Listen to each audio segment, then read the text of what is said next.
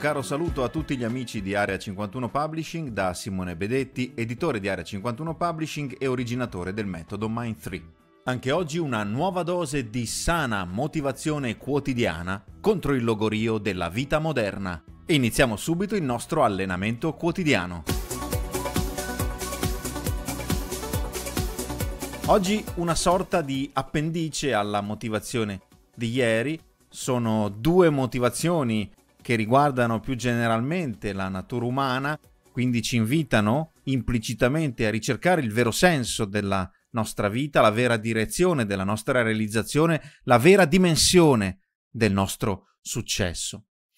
Ieri un re, Creso, un altro grande re, Ciro, oggi un ulteriore re, sovrano nello specifico degli Assiri, siamo nel VII secolo a.C. e un altro re potente, ricchissimo, giudice e sovrano della terra, come direbbe il Salmo, che mostra tutta la sua umanità, la sua fragilità davanti alla consapevolezza di essere nient'altro che un piccolissimo granello di sabbia rispetto all'universo e rispetto agli dèi.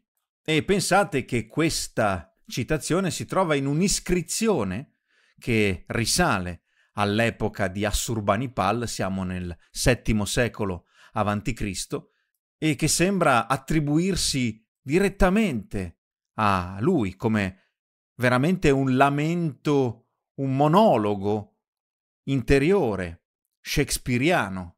Sentite cosa scrive, dice Assurbanipal che non dimentichiamo regnava all'epoca su un impero all'apice della sua potenza, l'impero assiro che si estendeva dal Golfo Persico fino all'Egitto. Peraltro Assurbanipal è stato anche un sovrano estremamente illuminato. Ha promosso la cultura, l'edilizia, la botanica, l'architettura e ha creato una delle più grandi biblioteche del mondo antico, grazie alla quale disponiamo di preziosissime informazioni di quell'epoca storica. Quindi un uomo non soltanto ricco, famoso, potente, sovrano, ma anche un uomo colto, ispirato, pieno di intenzioni costruttive, pieno di ideali e di una visione elevata della vita. Ecco cosa scrive dice Assurbanipal in questa iscrizione. Ho fatto il bene per gli dei e per gli uomini, per i morti come per i vivi. E allora, perché malattia, crisi e perdite mi affliggono? Discordia civile e crisi familiare non si allontanano da me. Disordine e cattiveria mi assediano. Infelicità e cagionevolezza fiaccano il mio corpo. Finisco le mie giornate in pena e lamenti. Sono turbato persino il giorno di festa del Dio cittadino. La morte mi assedia. Notte e giorno cado in depressione e ansia. Sono esausto. Oh mio Dio. Da tutto questo al malvagio e fammi vedere la tua luce. Quanto ancora, oh Dio, mi tratterai così? Sono trattato come uno che non onora né gli dei né le dee. Un vero e proprio lamento di Giobbe sembra di ritrovare il celebre libro biblico, il celebre apologo biblico. E proprio lì forse si trova il significato di questo lamento. Proprio lì ritroviamo perlomeno, o possiamo ritrovare dalla nostra prospettiva, le cause dell'infelicità, proprio lì nella mancanza di quella connessione profonda, vera, autentica tra l'individuo e Dio. Gli dei non sono Dio, il Dio non è Dio. Come dirà la Bibbia, gli dei e le dee sono statue di legno. Avete sentito un'altra inevitabile suggestione, magari dettata anche dalla traduzione, non saprei dire diversamente non conoscendo l'assiro.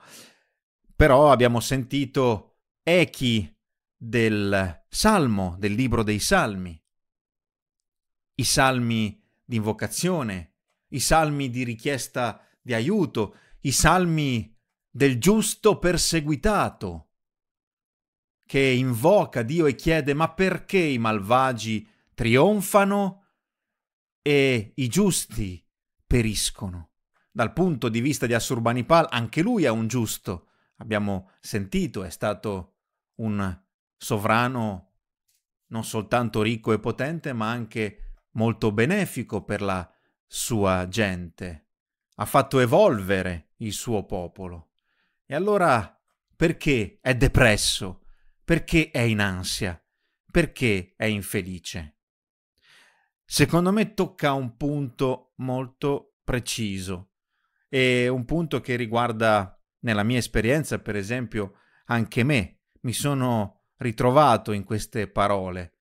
Mi sono ritrovato nel fatto di pensare, di, di credere, di, di essere convinto, di operare nel giusto e di trovarmi a fare più fatica, trovarmi ad avere più sofferenza, trovarmi a dover scalare più montagne per raggiungere anche soltanto una pianura, di aver fatto, insomma, molta più fatica di quella che pensavo, reputavo giustificabile, proprio perché, credendo di essere nel giusto, credendo di operare secondo la legge, pensavo di essere più meritorio, di avere un Green Pass, diciamo, per che mi permettesse di raggiungere prima gli obiettivi che mi ero posto. E ho la risposta.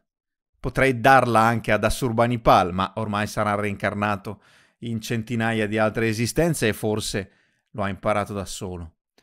La risposta è che per prima cosa bisogna capire veramente se si è in connessione, se si segue la legge, bisogna capire veramente se si sta attivando e continuando ad attivare quella energia spirituale nella propria vita e continuare a coltivarla e continuare a ricercarla e continuare a incrementare il proprio giorno con questa consapevolezza, in questa consapevolezza, con questa, in questa energia.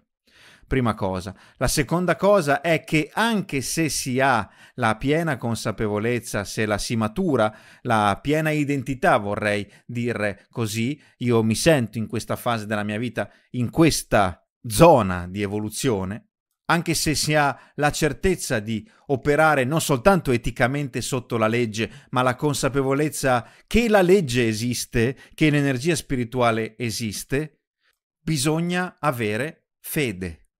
Non so quale sia l'errore di Assurbanipal, so però che questa storia ci insegna due cose. La prima, che già sappiamo, è che non importa quanto sei potente, non importa quanto sei ricco, non importa quanto hai successo e qual è il livello raggiunto dell'apice della tua fama, notorietà o ricchezza.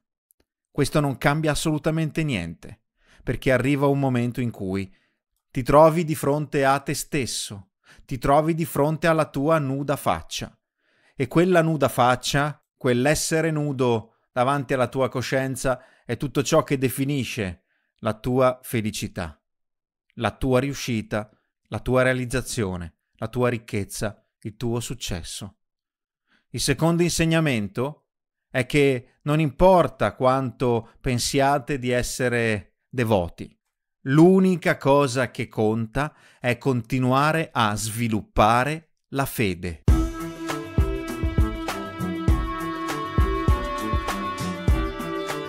Bene, cerca di portare in azione queste parole, queste frasi, questi insegnamenti nella tua vita di oggi, affinché ogni tua giornata diventi sempre più piena di senso, di energia, di motivazione di spinta alla tua crescita e alla realizzazione della migliore versione di te. Non cedere mai alla mediocrità, ogni giorno punta sempre a manifestare nel tuo mondo il meglio di te. A domani per un'altra dose di sana motivazione quotidiana contro il logorio della vita moderna. Contro il logorio della vita moderna.